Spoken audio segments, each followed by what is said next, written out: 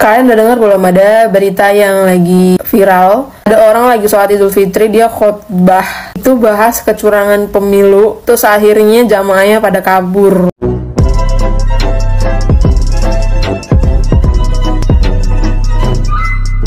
Halo guys, berjumpa lagi bersama Ray TV. Sebelum kita mulai, alangkah baiknya kalian tekan tombol subscribe dan jangan lupa kalian aktifkan tombol loncengnya agar kalian dapat notifikasi video selanjutnya. Langsung saja kita mulai. Check it out.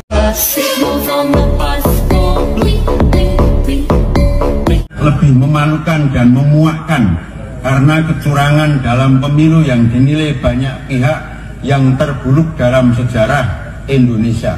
Ironisnya problematika pelanggaran pemilu yang sering disebut terjadi secara terstruktur, sistematis dan masif terjadi justru di, terkait dengan perilaku Joko Widodo sebagai Presiden RI sebagaimana yang tersebar luas di media sosial dan surat kabar. Sebab itu, mereka yang dahulu merasa sebagai pemilihnya sebaiknya istighfar karena pilihannya telah membuat kecewa banyak pihak. Bangsa kita adalah bangsa yang besar. Untuk bangsa ini yang tidak jujur, tidak adil, tidak transparan, apalagi justru itu dimulai dari tokoh kita. Maka usaha pemilu yang kita jalani berpegang terkait dengan perilaku Joko Widodo sebagai. Bahaya bahaya banget ini khutbah Idul Fitri membahas politik bahkan menyalahkan Presiden Jokowi. Waduh aduh bahaya ini tolong tolong dipantau ini di mana katanya ini daerah Bantul ini. Gak bener harusnya itu khutbah itu bahas iman dan takwa gitu, bahas maaf-maafan Idul Fitri gitu loh Pak. Bahas politik itu untuk apa? Politik biarin di MK jalan di MK Pak. Ini kiainya siapa ini? Tolong diperiksa ini.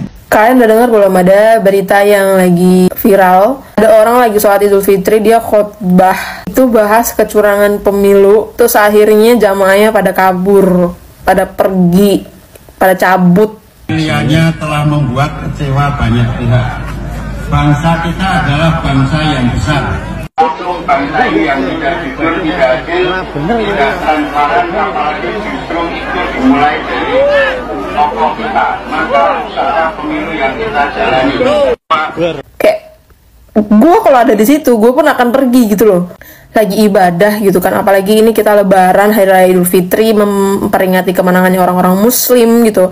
Harusnya kita bermaaf-maafan gitu kan, mengujarkan kebaikan. Yang panas-panas udah diadem-ademin lagi. Ini malah dipanas-panasin lagi. Mana ama ustadznya, malah ama imamnya gitu yang khotbah kayak kata gue kayaknya nih bapaknya udah ke doktrin ini deh apa namanya politik identitas. Makanya gue bilang politik identitas itu bahaya banget. Terus ada yang komen itu pasti yang pergi adalah pendukung 02 nggak ngerti akhlak nggak ngerti etika gue kasih tahu ya sama lo. Namanya kita ibadah itu tidak boleh dicampuri dengan hal apa pun. Namanya ibadah itu ya fokus kita untuk berdoa ketemu sama Allah gitu loh. Fokus untuk bener-bener antara kita dan Tuhan gitu jangan dicampuri dengan hal apa pun. Kampanye di dalam masjid aja nggak boleh. Kampanye nih lagi ngaji gitu bawa-bawa politik itu nggak etis gitu loh. Apalagi ini khotbah. Khotbah bahas kecurangan pemilu. Kalau bapak mau bahas kecurangan pemilu nggak usah khotbah pak. Pakai tawa aja di kelurahan sono. Ya ngapain khotbah tuh jamaahnya pada kabur?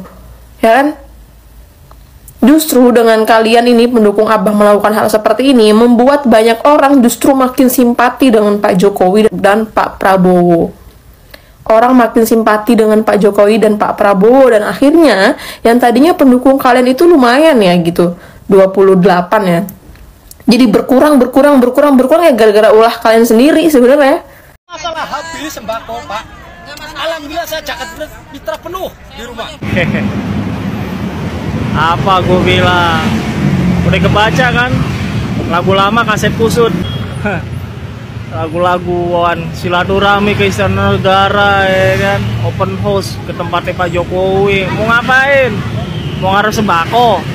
Ah ah perasaan yang dukung Pak Jokowi bukan lo deh gue deh gue yang dukung Pak Jokowi kan lo yang musuhin Pak Jokowi giliran ada Pak Jokowi bagi-bagi aja nomor wahid lo ya. Ya dikebaca sama gue akal-akal bulus lo ha pakai giring-giring narasi lagi kan.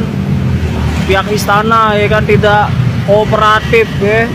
Tidak apa memberikan layanan yang terbaik buat masyarakatnya.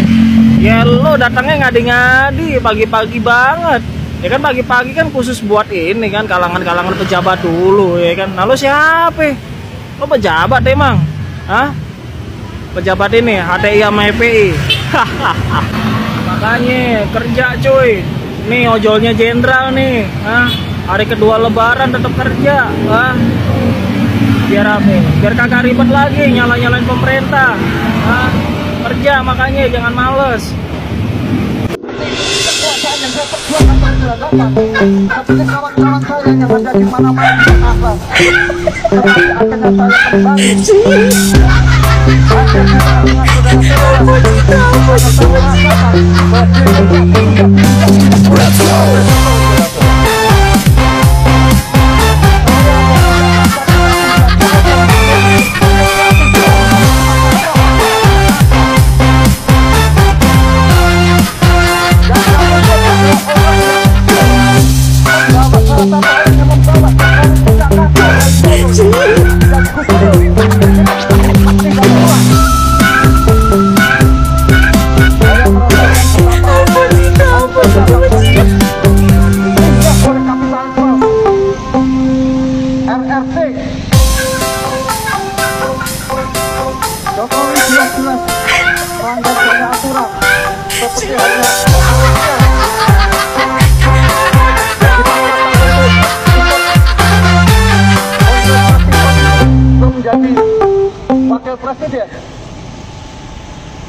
Apakah kita orang yang seperti ini akan dipimpin bisa menghadapi kekuatan politik internasional?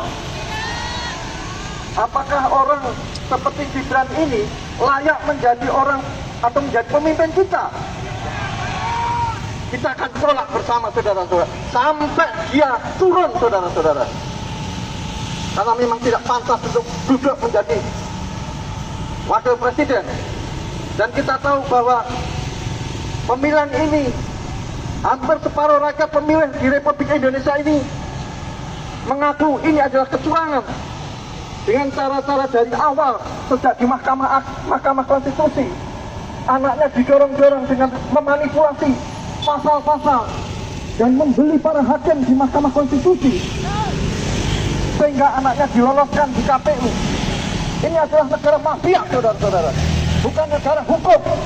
Dirusak demokrasinya Masih, masih, masih. Takutnya saya ngomong pergi. Aman, Pak. Ya.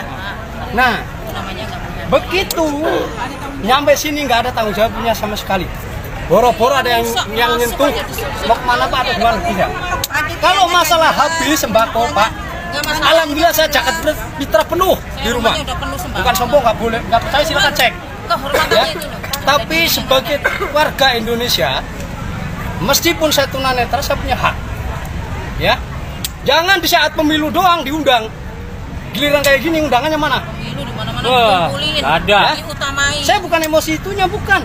Tanggung jawabnya seba- sebagai sesuai dengan omongnya lah. eh, komando organisasi atau Bapak dari jam berapa Pak ke sini, Pak? Oh, dari jam 10. 9 pagi. Informasinya dari mana, Pak? Kemarin dari Radio Sinta. dari El Sinta, dari Nah, ini banyak Tiwan apa ya? Dan ke sini naik apa, Pak? Naik Angkot nyater. saya nyater Nyater angkot Terangkat dari dari Meruya. Meruya Selatan. dari Meruya. Bapak Iya. sendiri dari komunitas apa Pak kalau boleh tahu dari organisasi Iya. apa? Oh, kalau saya terang non organisasi. Organisasi tapi Pribadi. dari Ya. pribadi. Ya. Nah, karena di rombongan. bukan karena di situ undangannya untuk umum. Jadi kan- nggak nggak harus organisasi dong. Iya, iya, iya. disabilitas. Hmm. Nah, itu tuh seperti itu. Berarti tadi sampai masih masih masih harus mengantri ya Pak? Mengantri di Bukan antri susah. lagi, Bu. Disuruh anak keluar, tadi Saya gua muter ke sana. bawa pendamping anak saya ini kecil. Ini pintu dibuka segini di tembok. Kalau saya nggak kayak gini anak saya mati. Tidak ada pendampingan dari Nggak ada sama sekali. Tanggung jawabnya nggak ada. Jauh sama? Jokowi, sama jauh sama? SBY dulu. dari rumah jam 9. Pak terus tadi nggak sempat masuk ke dalam sama sekali. Wah. Enggak. Disuruh muter doang. Muter-muter doang. Suruh muter kayak obat nyamuk. Dari tim istana nggak ada tim prioritas. Nggak ada, nggak ada. Pembohong semua itu. Ditipu. Tidak ada. Sampai orang masyarakat yang lain pada Ya. Terus oh, Tadi nggak ada yang bantu sama sekali, Pak. Nggak ada. Tidak ada. Belum ada. Bukan belum ada memang tidak ada. Sampai teman saya no. Teman saya sampai jatuh no. Jadi ikut berdesak-desakan juga ya. Iya.